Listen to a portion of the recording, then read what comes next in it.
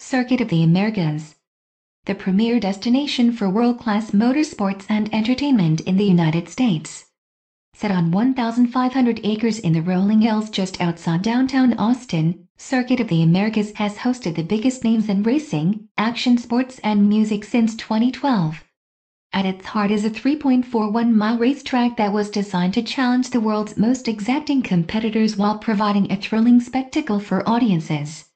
The 20-turn, counterclockwise circuit takes advantage of the naturally undulating landscape, including an intimidating 133-foot hill at Turn 1 that must seen in person to believe. It is home to the only Formula One race in America as well as MotoGP and more.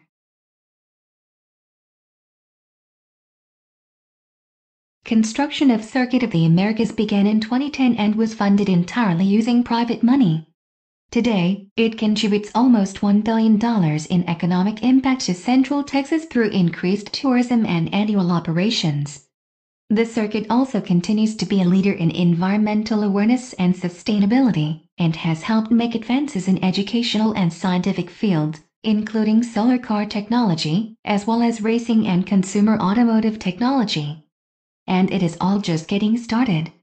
With plans for more World Championship racing, new amenities, features and more events, Circuit of the Americas is set for excitement for years to come.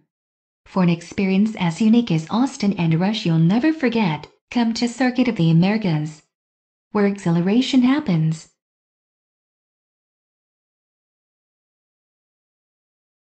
Don't miss the upcoming 2015 MotoGP Red Bull Grand Prix of the Americas. April 10 to 12, 2015.